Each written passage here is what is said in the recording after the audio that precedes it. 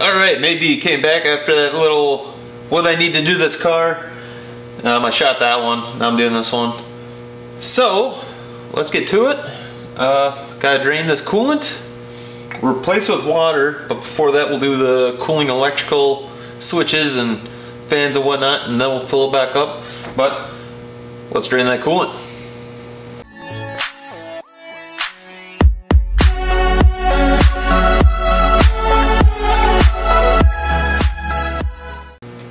The, uh, the coolant I put in this car, um, it's fresh, brand new. I'm going to save it, put it in a jug, and uh, collect it, try to get as much, or get as least amount of dirt in there as possible. So I got this big flat plastic bin, which I'm going to collect it, and it's nice because it's, it's huge. Um, I'm going to show you how I'm doing it. First off, uh, I'm going to get as much out of the radiator as possible. You probably don't need to do this. Um, I don't have a drain port on my radiator, so I'm going to try to pull out as much as possible and then pop out where the thermostat is on the LS engines and drain it right into that bin and save this stuff. Here's my little trick. Instead of sucking on this hose, this dirty, gonna be soaked with coolant hose, if you have an air compressor, air compressor that works. Get yourself one of these nozzles and then just put it on the end. Hopefully this works.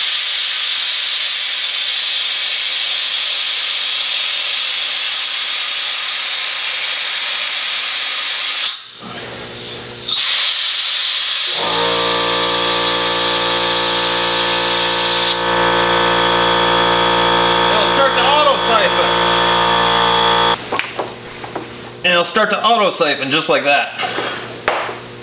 And as long as it's lower than the other side of the hose, it'll just drain right out and we're gonna get as much as possible.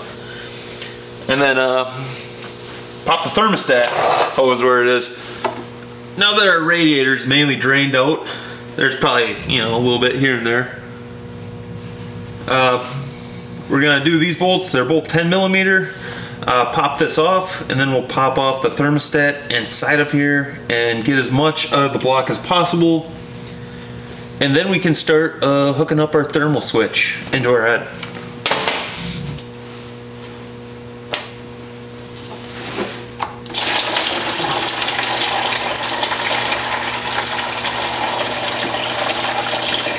I didn't pop it all off right away. I did leave one bolt up top and just crack the bottom so you can kind of have a controlled drain like that. Otherwise you might have a big mess.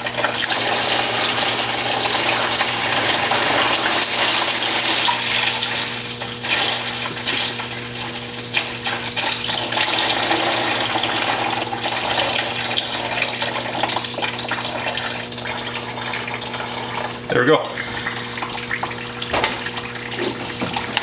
Now we'll take the top bolt off. Now if you want to change out your thermostat right, right now you can. I don't need to. I'm just gonna bolt it right back up. And if uh, I've been over, if I start to overheat on the track, I might have to do the same thing over again. And then all you gotta do is uh, drill a little hole in your thermostat so you can have a little bit extra flow through it. But I'm not gonna do that yet. I'm gonna leave it how it is, bolt it back up, and uh, put in my thermal switch.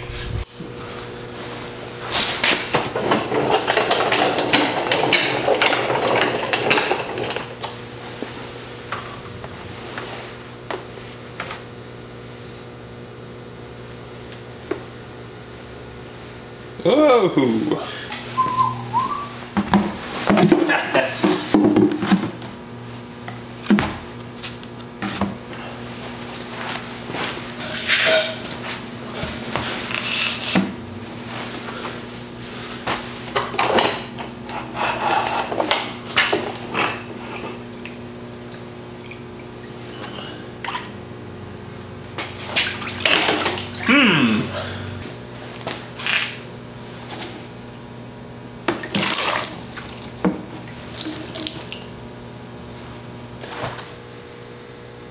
Here's my review of using a big container like this to catch coolant. don't. So now uh, we're gonna install our thermal switch and that goes into a little Allen bolt way back here. Wish I had a light to sh show you better. But that little bolt right, right there. All right, I'll take that out and uh, put our switch in.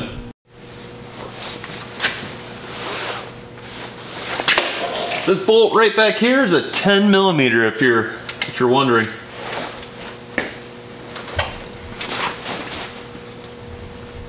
Ooh.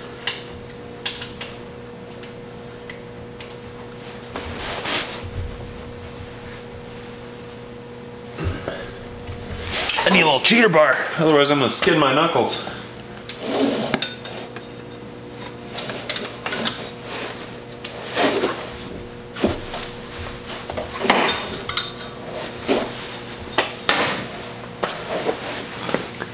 There we go. This little bolt, eight millimeter, um, and that's where we're gonna, we're gonna thread our little adapter, and uh, for little uh, fan control switch.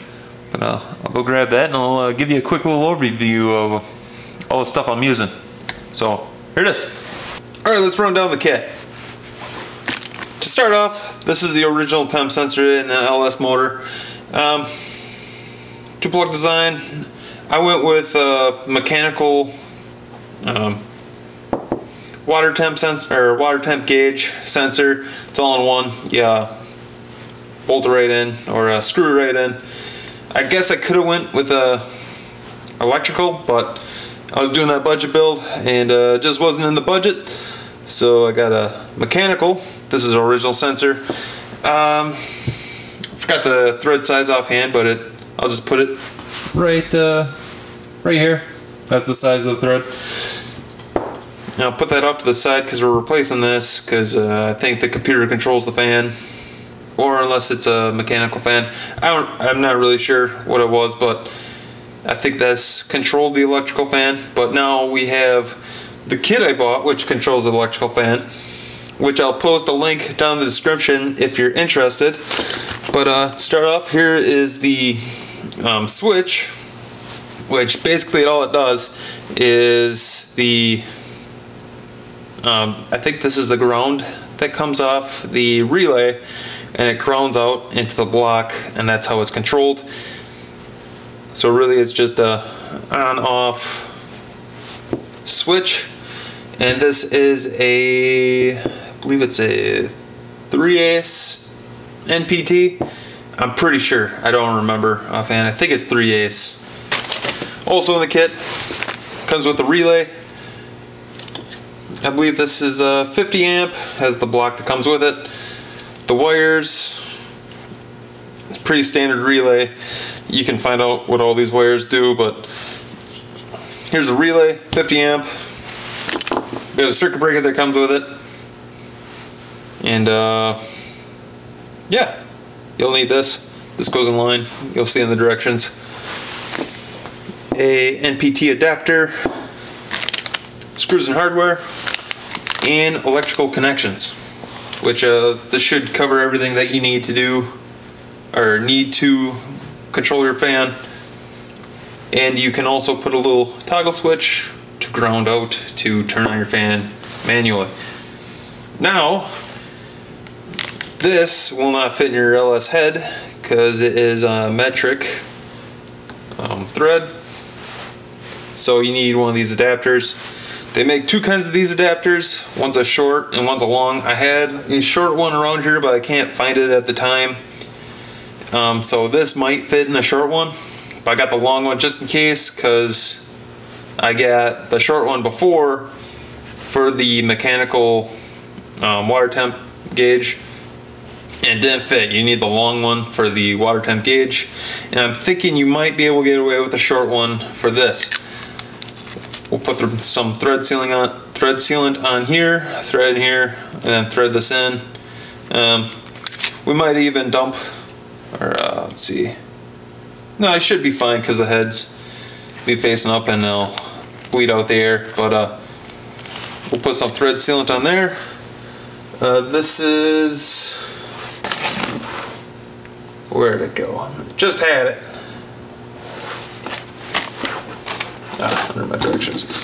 This is thread sealant I got, Permatex thread sealant. I got this mainly because you can use this for your fuel system, for your fuel log. I was told by somebody that you shouldn't use Teflon tape on your fuel log because if a little piece breaks off or you know that can clog a jet that's no good so use the um, just say like gel or uh, the liquid thread sealant on your threads uh, I'll put some on here I'll put some on here thread it in and then we can start wiring it up oh and also leave a, I'll leave a link in the description for this thread sealant and for this kit and for the fan I'm about to show right now. This is the fan I'm using. I believe you can use this in either a push or pull design. I'll be using a pull design uh, sitting right behind the radiator. There's little tabs that'll fit in these little grooves and it also comes with a little wiring harness uh, plug-in so you can make your own little harness connection. It does come with the strap downs already, so you don't need to buy these. I had to buy them for the other radiator. I got those used. Here's the old radiator. It, uh, it was out of a Chevrolet Celebrity. Um, it's basically the same size as the new radiator I'm using. The only difference is it will actually hug the radiator a lot better and maybe the fan profile will bring in more air. I'm not really sure. It might, it might not. So there's only one way to test out is to try it out. I don't have a shroud that goes over the other, the outsides of the uh, fan, but I think that will be totally fine. Um, this thing actually had like little gaps hanging outside around the little black shroud that has on it. So uh, I'm assuming it's going to be better. It might, it might not, but I think it will.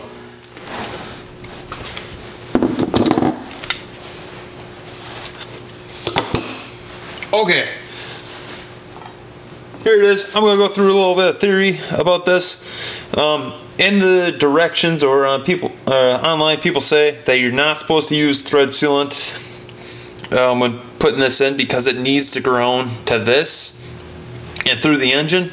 But since I'm using the the liquid thread thread sealant and I got it pretty tight, I think it squeezed out um, some thread sealant, thread sealant, and does have some grounding it uh, grounding connectivity between this and the switch. So I don't think I'm too worried.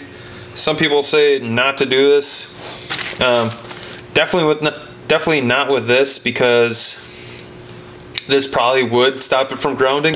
But since I'm using a liquid and tightening it, it'll probably squeeze it out and will ground it to thread to thread.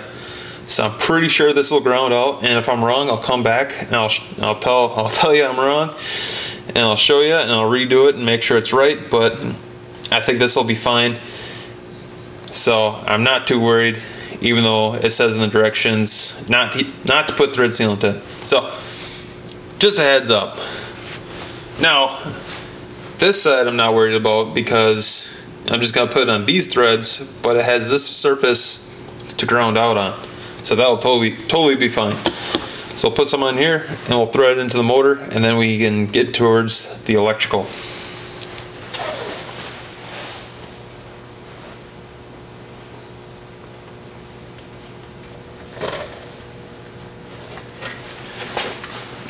There we go, that should be secure.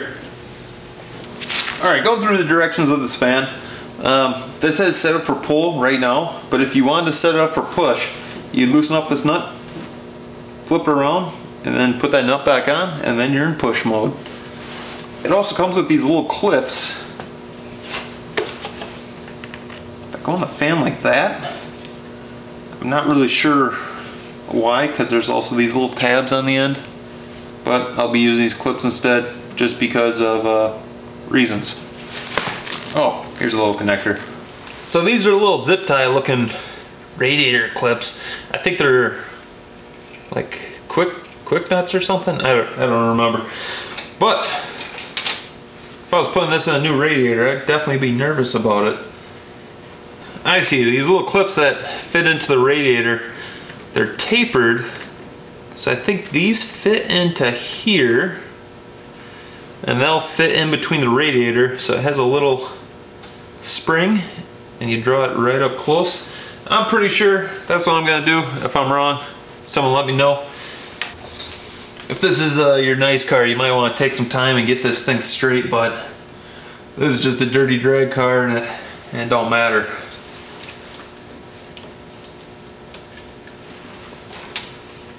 But it'll be close enough. You just push them right through. All right, I am 99.999% sure that I have this wrong right now.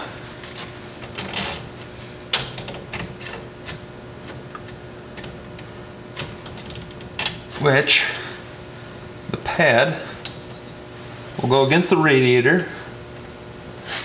The tie will go through the hole. seat, foam pad, spring, uh, bracket.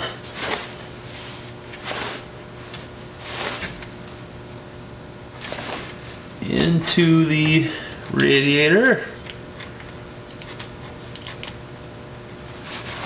Through the other side. And then you will take another foam pad, uh, rip half the paper off, rip the other half of the paper off, stick that on the little zip tie from the other side. I'm going sticky side against the radiator too. Against the radiator. Before I zip it down, I need my little spacer on the bottom. And then I'll take these little clips and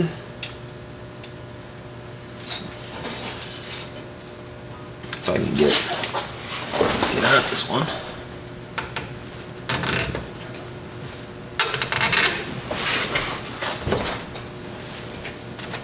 Make sure that's where I want it.